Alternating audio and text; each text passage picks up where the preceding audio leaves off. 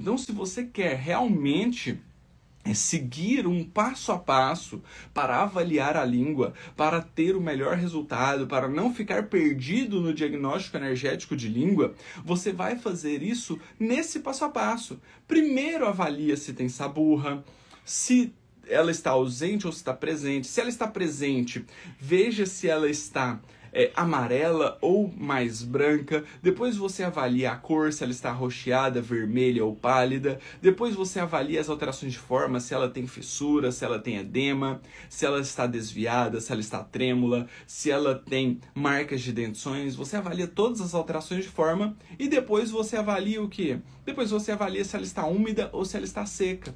Faz isso nesse passo a passo, anota esse passo a passo, porque você fazendo isso, você vai encontrar os achados da língua e depois fica fácil de você correlacionar com os padrões sindrômicos, com os padrões de desequilíbrio. Isso vai fazer com que você não se perca no seu diagnóstico, que você não fique é, fazendo isso é, aleatoriamente. Então, seguindo esse passo a passo, te direciona no diagnóstico e facilita a sua vida.